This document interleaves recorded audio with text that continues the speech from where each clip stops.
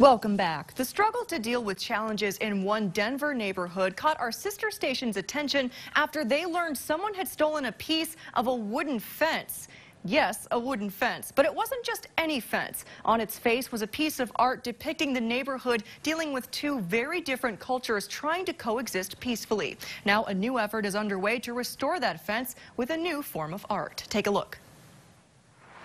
So this fence, as you can see, there's there's a mural on it. If you drove through this Westwood neighborhood in southwest Denver, you might not even notice it, unless you're a bad guy marking territory. The mural's getting tagged, so we're going to be fixing it and putting another mural up over it. Time is ticking, though, to figure out what to do with the fence that takes beatings from strangers. Santi Jaramillo, an artist from the neighborhood, said it stood here for seven years as a makeshift sanctuary. But then gangs began tagging it. We don't know what the tags are exactly. Then the unthinkable. Someone stole pieces of the fence. Determined to not let this piece of art crumble, he and a group of others got to work.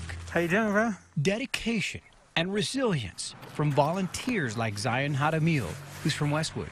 When it was first up here, there was no tagging. It was nice. Like, me and my buddies will talk about it, but now it's like, there's so much tagging on it. It's ridiculous. A park will go here someday. I think there's just a lot of frustration. You know, the violence is, has spiked here.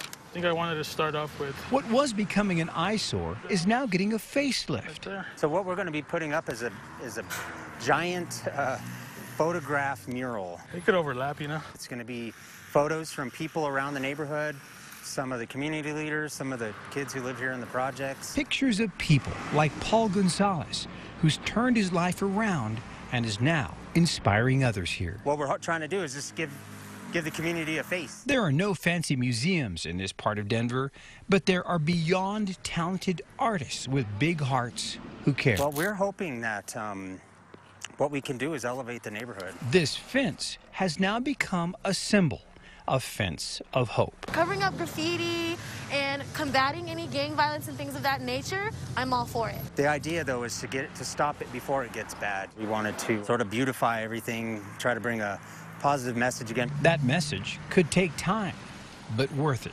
they say. I think visibly having people out here and showing that people care and are wanting to improve the community, this is one piece of that. It's one more step.